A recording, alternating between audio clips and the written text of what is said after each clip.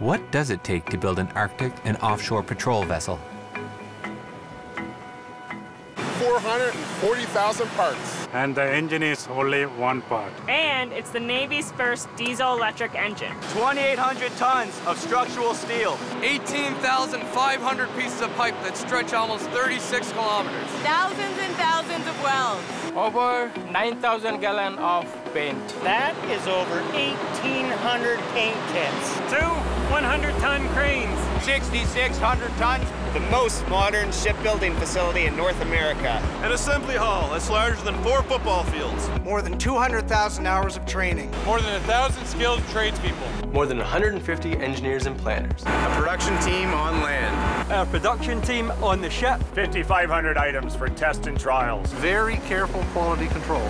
Over 250 processes and procedures. More than 27,000 visual inspection reports. Beautiful city of Halifax.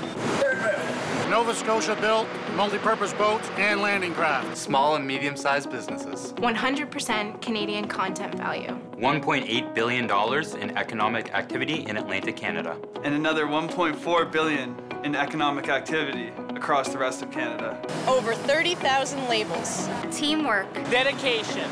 Commitment.